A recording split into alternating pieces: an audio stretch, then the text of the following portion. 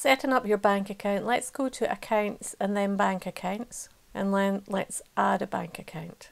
We're going to choose HSBC and the first one we're going to select is a direct feed. This is great if you can get a direct feed to Xero.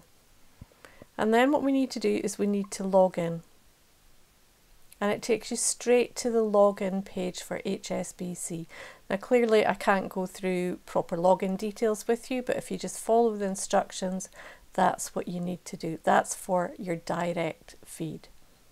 Okay, let's look at a bank account where there's not a direct feed, so it would come through an intermediary like Yodlee. So again, we'll go to accounts, bank accounts, and we will say add bank account. Still going to select HSBC and I'm going to choose business banking where it's not a direct feed. So it's going to ask your account name, so I'm just going to say HSBC current account, account number and sort code. So sort code, account number. Clearly not real bank account numbers and then we choose continue.